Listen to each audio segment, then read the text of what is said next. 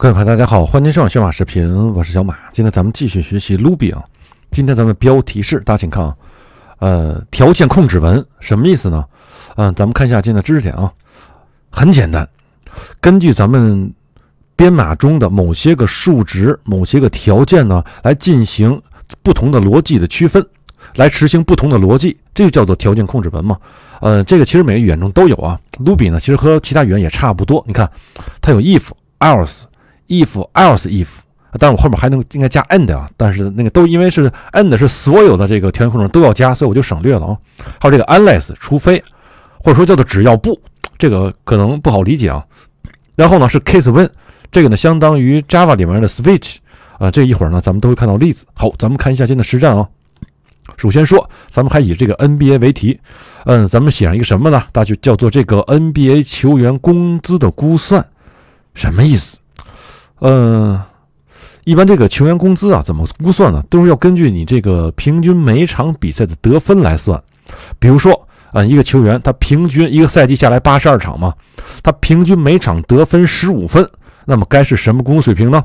我这下面给您做了一个 if else 的判断，这就是条件控制文嘛。咱们看一下啊，呃，我这儿这个得分是十五分，让我这写了，如果平均每场得分大于等于三十分，那你是顶级球员。所以说呢，你的年薪大概在三千五百万美元，对吧？如果否则，如果你不等于这个大于等于三十，那我们就走否则逻辑嘛。否则，如果你大于等于二十，每场得二十分，这也行吧？那你这年薪呢，大概在两千万美元啊。当然，现在因为这工工资帽高了，可能这个这个大于二十分的话，可能也是属于三千，至少得三千万美元也有可能啊啊。但是我是给您举这个程序例子，跟实际的 NBA 其实有点出入啊。这工资好。那么他说，我既不大于等于三十，也不大于等于二十，那怎么着？那说我小于二十呗？那怎么着啊？这写打上了吧？那中产合同吧？中产多少钱？八百八百到一千五百万左右吧？这算是中产合同。现在工资帽真的是高了啊！好，这是一个判断逻辑啊。接下来买这个游戏嘛？另外一个游戏，另外一个这个判断啊，咱看看啊。呃，我这有一个叫做这个《绝地求生》，卖多少钱？四十。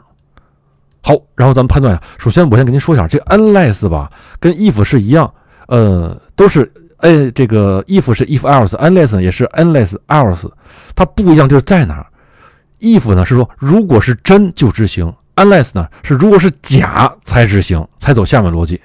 好，那咱们看一下啊，呃，比如说我的这个绝地求生，这价格多少？四十，那么四十小于不小于五十？小于小于是什么？是真，是真，它不走逻辑，它就走项目逻辑。if 如果这要是 if 的话，因为我的这个绝对求生四十小于五十，这条人是真嘛？它会走下面这个 if 的逻辑。于是 unless 的话，只有这个条件为假的时候才走这下面的逻辑，很难理解啊。反正我这么多年编码经验啊，我从来没有用过 unless，不管是哪种语言，我都没用 unless。但是呢，作为一个知识点给您介绍，您今后我劝您啊，别用。为什么？读起来太费劲嘛。这个我把它理解为什么呀？unless 是除非嘛，但是不要理解为除非，理解为理解为什么？理解为大家请看我这写了，理解为只要不什么意思？比如说用这句话来说，只要绝地求生的价格不小于五十，我就走下面。什么叫不小于五十啊？比如说这个卖一百，它不小于五十吧？只要它不小于五十，我就打这句话，打什么？打什么话？就说绝地求生这游戏虽然好玩，但是价格太贵，卖一百吗？我还是玩学习版吧。一说学习版，大家都知道啊。那么，如果它为真，它应该是走项逻辑。比如说，现在四十，四十比五十小吧，为真对吧？为真不应该走这逻辑，走项逻辑。什么意思呢？就是小于五十的时候打印，绝地求生降价了，大家要支持正版，剁手买。unless 只是作为您一个了解啊，我推荐您不要在代码中使用。为什么？可读性很差，还得动脑子去理解这个关键字，没必要。好，咱们再讲一个啊，呃，case when。这个也是非常非常常用啊，您一定要掌握。比如说，今天咱们例子是，呃，今天是星期几？我这写上一个 weekday 是零，我规定这个式样就是说零或者七代表星期日，否则呢，一二三四五六各代表自己的星期几啊。下面呢就是这段代码的逻辑啊，咱们看一下，如果是零，比如咱是 case 跟上这个 weekday 这个变量嘛，然后我问了啊，当这个变量是零或七的时候，打印。星期日对吗？跟它式样一样。如果是这个变量是一的时候，打印星期一；这个变量是二的时候，打印星期二，以此类推。六的时候呢，打印星期六。如果说我定这个值超出了零到七范围了，十，那怎么着？它走这 else 逻辑，叫做什么？没这一天，报个错。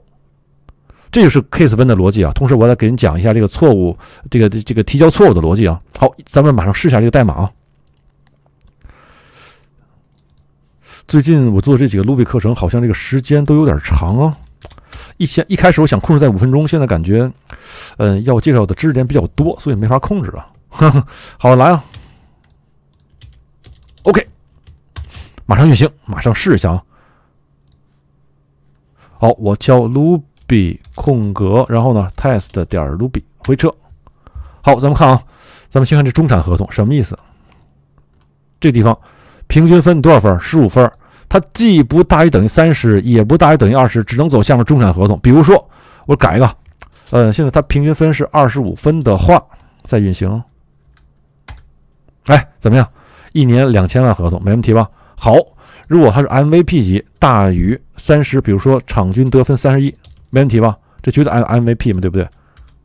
所以呢，它就是年薪三千五百万，没问题啊。再往下看啊，这是一分二次判断，接下来。是这个 unless，我真不喜欢。现在咱们打是什么？大家请看，绝地求求生降价了，知正版买呀，就这个吗？它小于五十，那么呢，只有是假才走 unless，它是真跳过去走 else 逻辑，打印出降价了，知正版剁手买。嗯，再次重申，unless 不推荐您在这个实际工作中使用啊。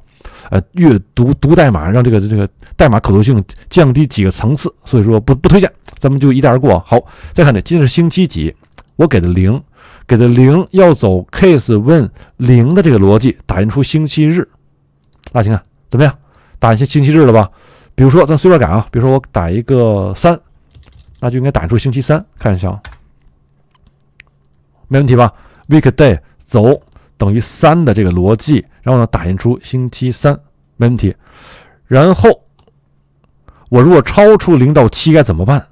试想，比如说是十三，鬼节，可以吧？试试啊，Go，哎，大家看怎么样？报了一个 ex，呃，这个 exception 错误，打印出没这天。这个错误怎么出的呢？就是我用这个 raise 语法呢，在这个 Ruby 中做了一个例外的实例，然后这例外的内容呢叫做没这天，然后呢在控制台咱们就能够看到了。哎，这就是大概 case when 的使用方法啊。嗯，应该不是很难。这个是在每个语言中都有，只是仅仅是这个关键字写法不一样。比如说 Java 中叫 switch，对吧？VB 中叫 case，哎，VB 中还一样，但是 VB 中这个，哎，VB 中叫 select，这个地方叫 case，稍微有点区别还是啊。嗯，不过呢，应该不是很难。每种语言呢都是相通的嘛，对不对？好。以上就是今天我给您介绍的所有的内容。今天代码呢，我会放到开源中国的服务器。然后今天的视频呢，会放到优酷 YouTube 供您下载观看。那这个视频就给您放到这里吧，咱们下个视频再见喽，拜拜。